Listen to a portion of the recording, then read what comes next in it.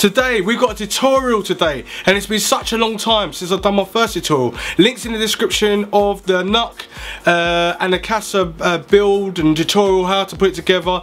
That was quite a few years ago but link will be in the description. Check that out. But this is going to be about the Gigabyte Brix S and we're going to be putting it with the OCZ solid state hard drive like a budget one. And we're putting using Kingston 16 gig of uh, 1600 megahertz. And basically we're going to do about seven to eight different videos. We're going to bench test it we're going to game on it we're going to do video editing we're going to check for photo rendering Photoshop all kinds of stuff. We're going to test everything out on what's the difference between having such a up-to-date sixth generation computer compared to uh, pre-built one or a custom built one that's a lot bigger than what this is. Stick around because we're going to get right into this right now.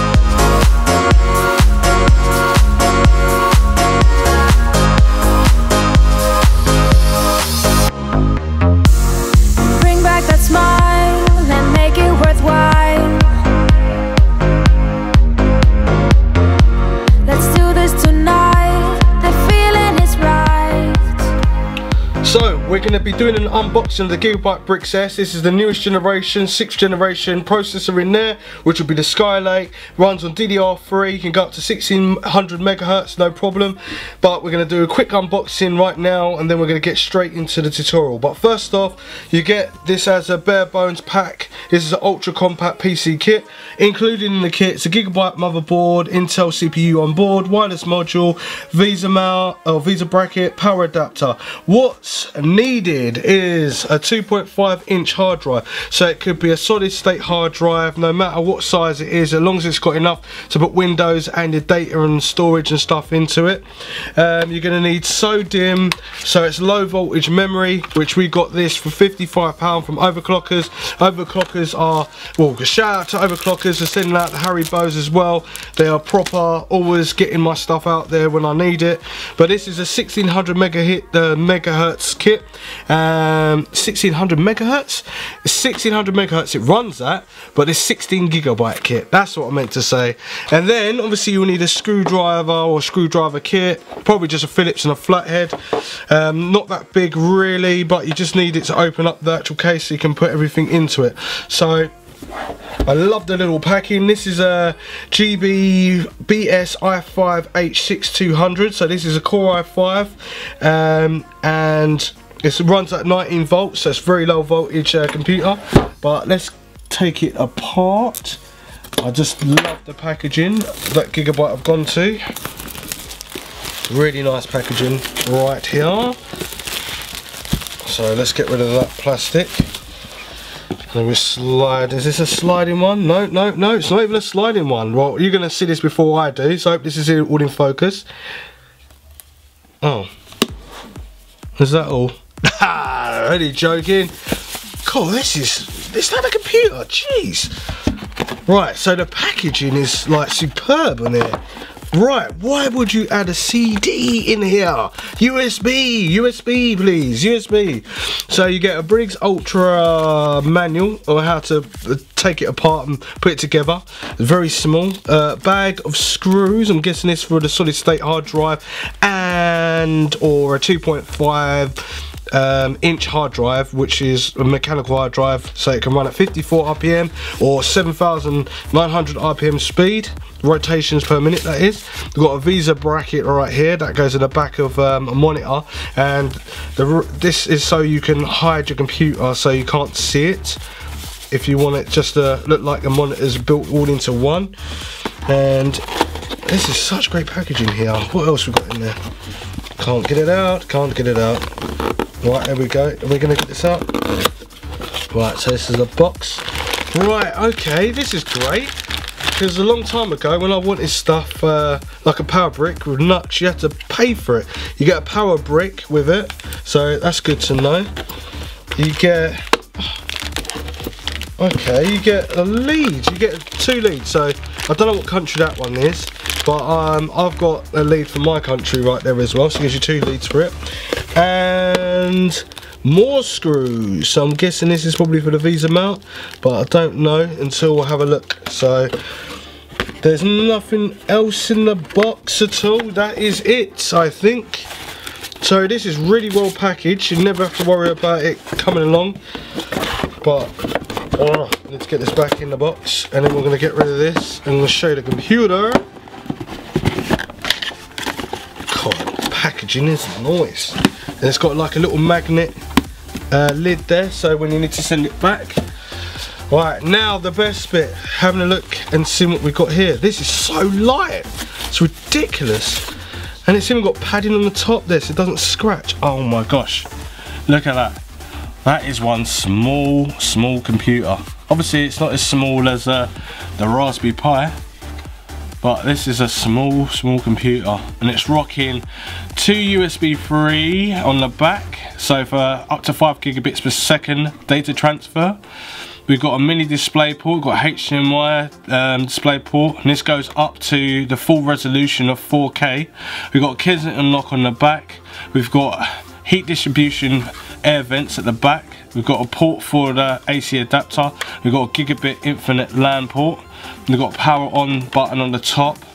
And we've got two extra USB 3s at the front. We've got a microphone jack, we've got a headphone jack on the front. Really good quality it looks like and it got a little Intel core sticker on the front which is quite a nice little touch we've got some more air vents on the side there on the left and right and this is so well when I started out when I first had the computer like this um, it was mainly heat throttling that slowed uh, the computer down but it looks like they've uh, invented it a little bit more better. There's a bit of heat distribution at the bottom there obviously your model number and everything like that and it says this way up and this is where I'm going to actually take the screws out. It's got rubber feet as well so it doesn't scratch the surface which is good. Uh, the feels like aluminium but it's not it's plastic and it's got the gigabyte logo on there. And it doesn't feel like it's to easily get destroyed. And it's so small. It's so so small.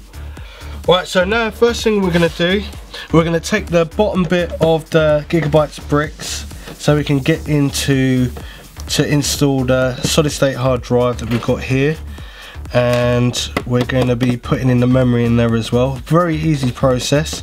This has got 6 gigabit SATA connector inside so you can get nice fast speeds. Um, still don't know why they've added a CD in there. I'm guessing there's some special information on that CD so uh, maybe it'll be good to have a CD drive and actually plug it in, an external one obviously. It wouldn't just include one for no reason, or hopefully not anyway. So I'm just taking off the bottom, the nice little rubber feet there. Right, so there you go, there's the Heavenly Glory inside there. So your 2.5 or mechanical 2.5 inch drive goes in here, no problem. Looks well shielded and stuff. Um, right, so DDR3 memory goes in here. This is where your solid state connects to with that um, SATA connector. And this is plugged in into here and it looks very nicely cabled. This is like a tiny like little build. It's, it makes me laugh. It really does. It's got a little watch battery here and then it's plugged into here so you can remember all the BIOS settings and stuff. It's got all the little chips on there. Um, and it's like you got little miniature USB connectors that's what it reminds me of and putting the little fan headers on there but it's not. Um, so you got a wireless card here this is an Intel chip this is um, obviously to get your Wi-Fi and everything like that and your MV, M, uh, NVE um, uh, SATA card would go here and you just screw it down so it'll go right over the top of the Wi-Fi card and it won't make a difference. It'll be quite fine. But this is how simple this is. So I'll take this off because this is just to hold down in trans transportation and move it to that side here. Solid state hard drive. And this will slide in here like so. And I've got to find out where the screws are. Hang on one sec. Right so what I would do take this plate off first. Silly me. So I'll take the plate off first so I can get the solid state drive in there. So if you're shipping it it's not going to fall about. Just slide it in here and these are what these screws are for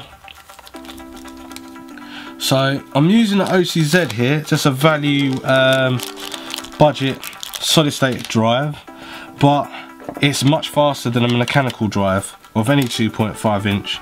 But a good thing about it is that solid state it's no mechanical moving parts inside of it and it's current up to date and this is a 480 gig version so imagine having 480 gig of literally 530 to 550 megabytes per second transfer reads and writes on there. It's pretty cool. But you can go with something like 30 gig if you really wanted to. Cost you hardly anything because obviously the, the, gigabyte Brix would actually cost the most. Um, but you can have up to 16 gig DDR3 and then you can go for a drive you can go with well I don't think you can go with a new Samsung drive which is I think three and a half terabytes. Because it's slightly thicker than what this is but maybe you could go for a thicker drive in there. Um, but we went with this one as it's nice and nice budget one and it's got the speeds and everything. I've just noticed that you've got some uh, cooling here as well cooling pads. So gigabytes gigabyte thought about that as well. So you connect the SATA connector to the actual drive itself like this. And it's just slotted in. It's like a ribbon over the top to keep it nice and sturdy. So I'm to leave it on the side like that. Then we're to get the memory out which is the Kingston memory. And you can go with using one of these just 4 gig uh, 8 gig and 16 gig I'll tell you what I've gone with 16 gig because I want to bench it and see how far I can well what I can gain out of doing all of this you know without it just dying on me with loads of heat. So this has got low latency this uh, this card. It's 1.3.5 volts and it's just a Kingston 60 gig slot so 8 gigs each. And what I'm going to do is I'm going to slide the bottom one in first and it goes in at an angle like that and all you have to do is press and click it down and it's in. As simple as that. Just make sure it's nice and tightly in. And that one's in as well. And that's it. That is basically the gigabytes Brix. That's the computer already done there enough. Now I've got a Wi-Fi card in there. I don't really know how far it goes yet but I'm going to tell you in a sec when I find out because I didn't even know it had a Wi-Fi card because it's got a gigabit LAN port as well. So it's pretty crazy all the stuff it's got. So now I'm going to screw this back on to the plate at the top. I like how they've done this. This keeps all the temperature away. So I could add in another two screws if I wanted to. So I'll have four. It's quite fiddly these screws. I'll screw this back on now. Get on there. Da, da, da, I'm gonna even try and use Premiere Pro and After Effects. Not too many effects or anything like that. Just something like an intro or something. I'm going to try and create it on this little computer. I want to see how powerful it really is and how far we can push it. If we can make computers so powerful like a full tower computer into such a small build like this you can hide anywhere It'd be awesome. Can take this as a, a video vlogger and take it with you and uh, see uh, what we can do.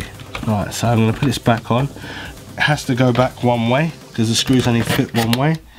So I put the four screws back on.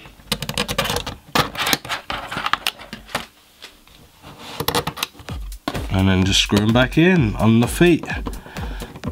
Simple as that. Oh gosh, sorry. Mm -hmm. So we're also going to test for heat as well. How much heat this little baby's going to be pushing. Because we don't want it to get too hot. But Intel CPUs are pretty good and do handle heat throttling pretty well. Especially in this new generation of stuff. You know what? I think this pad they brought was for me to put on here so it didn't scratch the actual surface of the computer. But it's all done now. That's how simple that computer is to build. So all I need to do is connect this power brick and the actual ca cable that came with it and it plugs into the back here and you can plug in your USB, so your keyboard, mouse. Can if you've got a LAN port, you can just put it in there. Mini display port if you've got that. Normally, normal people put in the HDMI port. Cares it unlock because it's so small, someone could steal it. And you've got two USBs left over. Now, I can't see a USB 2 anywhere, so hopefully this is backwards compatible as well. But we're going to test it all out and then we're going to find out. Alright, I hope you enjoyed part one. Part two is coming, and obviously there's more parts to this as well, because I'm going to check heat, throttling on this computer, check out video editing, photography, and photo rendering, and gaming, and anything I can do with this Core i5 Gigabyte Brix S. Thanks for watching, don't forget to share this video, and throw it up a like if you like the video, and I'll see you in the next one. Thanks for watching.